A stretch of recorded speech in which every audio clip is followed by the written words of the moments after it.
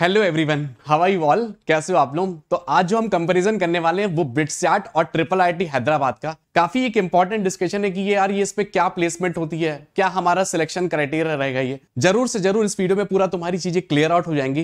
Before starting the video let me tell you कि जो बच्चा हमारे जो कमेंट किया था जो हमने बताया था तुम्हें कि uh, उसको गिव अवे कंडक्ट होगा तो उसके जो रिज़ल्ट आएँगे वो लास्ट में तुम्हें बताए जाएँगे कौन बच्चा विनर था। डेफिनेटली जो विनर वाला बच्चा मेक श्योर की मेल करे है ना? ट्रिपल आईटी प्रेप के वेबसाइट में दिया होगा मेल आईडी वहाँ पे तुम मेल कर सकते हो ताकि तुम ये जो है जो फ्री गिव अवे जो तुम्हें बुक मिलने वाली थी वो तुम्हें चीज़ें मिल जाएँगे।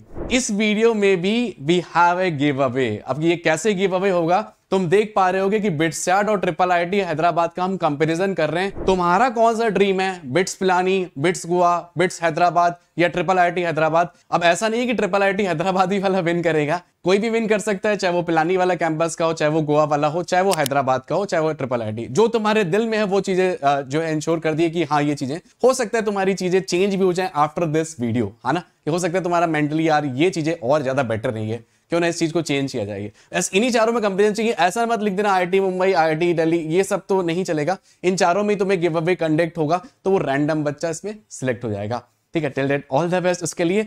अब स्टार्ट करते हैं हम लोग BITSAT versus triple IT Hyderabad अब BITSAT versus triple IT Hyderabad में सबसे पहला कंफ्यूजन होता है नंबर ऑफ़ एप्लीकेंट्स को लेके। नंबर ऑफ़ एप्लीकेंट्स देखोगे बिट्स बिटसैट के केस में काफ़ी ज़्यादा होते हैं as compare to triple IT Hyderabad triple IT Hyderabad में क्यों कम है? यूजी के एग्ज़ाम में रीजन इज़ डेट की अवेयरनेस थोड़ी सी कम है।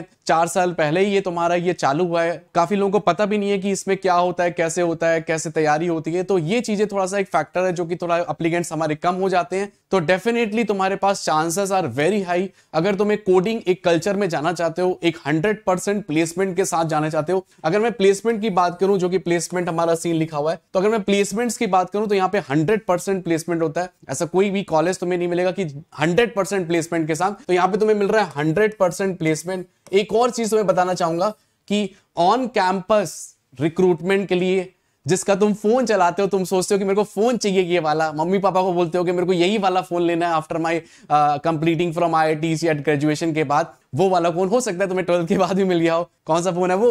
एप्पल तो एप्पल जैसी कंपनी जो है, वो सिर्फ़ और सिर्फ़ हमारे ऑन कैंपस रिक्रूटमेंट के लिए वो सिर्फ़ और सिर्फ़ कहा जाती है? Triple I T Hyderabad. No doubt वो और भी कॉलेजेस में जाती है बट अगर मैं कंपेरिजन कर रहा हूँ ट्रिपल आई टी हैदराबाद और बिट स्टार्ट के बीच में तो ट्रिपल आई टी हैदराबाद में एप्पल जैसी कंपनी विज़िट करती है। कोडिंग का एक कल्चर रहेगा तुम्हारे पास। कोडिंग का कैसे कल्चर देखोगे? तुम देखोगे ये एक ऐसा कॉलेज है जिसमें तुम्हें you will find computer science he branch है, या तो फिर ईसी e वाली ब्रांच है ये। पूरा लगभग कंप्यूटर साइंस की ब्रांचेस है। बिट स्टार्ट में देखोगे मैकेनिकल भी है, सिविल भी है, केमिकल भी है, इलेक्ट्रिकल भी है तो कई सारी ब्रांचेस हैं। तो प्लेसमेंट क्या हो जाता है ना, वहाँ डिस्ट्रीब्यूशन हो जाता है वहाँ पे, है ना? तो प्लेसमेंट का वहाँ पे थोड़ा सा डिस्ट्रीब्यूशन हो जाता है और यहाँ पे सिर्फ़ एक कोर कंपनीज़ है तो वहाँ पे तुम्हारे जो कलीग भी होंगे, वो सारे के सारे कोडिंग वाले होंगे। तो एक अच्छा सा तुम्हारे पास एटमोस्फियर मिल जाता है।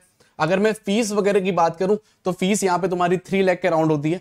अगर मैं ट्रिपल आई हैदराबाद की, वहाँ पे तुम्हारी फ़ीस जो चले जाती है, वो फोर लैख फाइव लैख तक तुम्हारी वो फ़ीस चले जाती है। तो एक फ़ीस वाला भी तुम्हारा एक फैक्टर रह जाता है।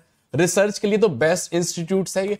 वन ऑफ़ द बेस्ट जो है रिसर्च अब क्या होता है तुम्हारे पास? इनका एमओयू है है ना? एमओयू साइंड है इनके पास।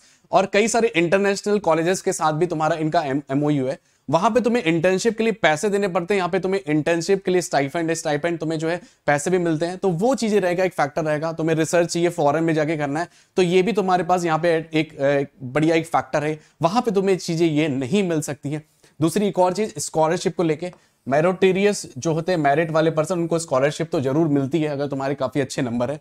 लोन वगैरह की बात करूँ तो लोन वगैरह तुम देखोगे लोन तो सैंक्शन हो जाता है इजिली यहाँ पे एक और फ़ायदा है, अगर मैं ट्रिपल आईटी हैदराबाद की बात करूँ तो एल्यूमिनी का एक फंड होता है, जिसमें कि तुम्हें लोन अवेल होता है तो वो भी तुम इसकी सुविधा उठा सकते हो। वो चार साल बाद तुम्हें फिर वो वापस में रीपे करना होता है। तो ये एक एक्स्ट्रा फ़ायदा है।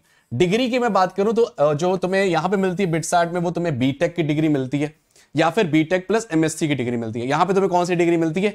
एमएस की डिग्री मिलती है, जो कि बड़े बड़े तुम देख देखा होगा बड़े बड़े गूगल के सीईओ वगैरह, उनके पास ये वाली डिग्री होती है एमएस वाली, जो कि फॉरन से जाके करते हैं, वो डिग्रियाँ तुम्हें मिल रही अगर मैं कैरिकुलम की बात करूँ तो कैरिकुलम क्या हो जाता है ना, तुम्हारा एक, उनका पुराना सा चल रहा है, सरकारी टाइप का। यहाँ पे तुम देखोगे करिकुलम जो है थोड़ा सा ये लोग एडवांस करते रहते हैं, चीज़ें चेंजेस करते रहते हैं। तो डेफिनेटली एक ये फैक्टर है, जो कि तुम्हारा प्ले रोल करता है, क्योंकि इंसान को चीज़ें अपडेटेड होनी चाहिए तो वो अपडेटेड थोड़े से नहीं है इस चीज़ को लेके। दूसरी चीज़, ब्रांच को लेके, मैंने ब्रांच के लेके तुम्हें बताया कि यहाँ पे एक सीएस और ईसी e मतलब ब्रांच मिलती है। वहाँ पे तुम देखोगे डिफरेंट सारी ब्रांचेस हैं। तो ब्रांचेस की वजह से क्या होता है कि प्लेसमेंट में थोड़ा सा ये हो जाता है कि थोड़ा डिस्ट्रीब्यूशन हो जाता है। दूसरा, मैं कैंपस की बात करूँ तो कैंपस वहाँ पे तीन कैंपस हो जाते हैं। होते तो चार है तुम्हारे पास इंटरनेशनल लेवल के बिलानी गोवा एंड हैदराबाद यहाँ पे तुम्हारे पास ट्रिपल आई हैदराबाद एक सिंगल कैंपस एक बढ़िया बेहतरीन सा कैंपस जिसमें कि तुम्हें चीज़ें सारी एक साथ तुम्हें असेंबल होकर मिल जा रही है। तो प्लेसमेंट वगैरह का दिक्कत नहीं होती क्योंकि बच्चे भी कम है तो इजिली तुम्हारा प्लेस हो जाती है। काफ़ी अच्छी तुम्हारा, तुम देखोगे placement highest package fifty lakh तक चले जाता है।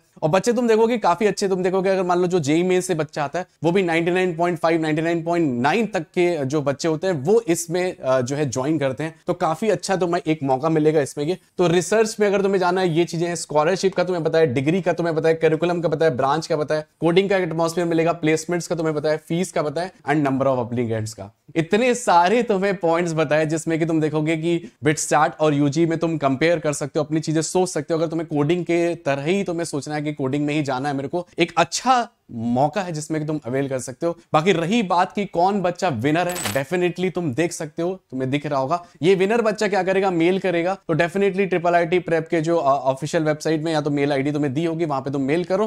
तुम्हें रिस्पॉन्स ज़रूर आएगा इस चीज़ का, तुम्हें गिव अवे मिल जाएगा। अब जो बच्चा इसमें जो है, यहाँ तक एंड तक देखा होगा, जिसने भी जो गिव अवे के लिए पार्टिसिपेट किया होगा, कि कैंपस बताया होगा, कि बिट्स पिलानी में जाना है, कि बिट्स गोवा कि बिट्स हैदराबाद या ट्रिपल आईटी हैदराबाद डेफिनेटली उन बच्चों को भी तुम्हें ये जो है चीज़ें मिल रही होंगी गिव अवे, वो नेक्स्ट में तुम्हें बताया जाएगा वीडियो में है ना? तो डेफिनेटली चैनल को ज़रूर सब्सक्राइब करके रखे। बिना सब्सक्राइब किए नहीं गए अपने फ्रेंड्स को ज़रूर शेयर किए।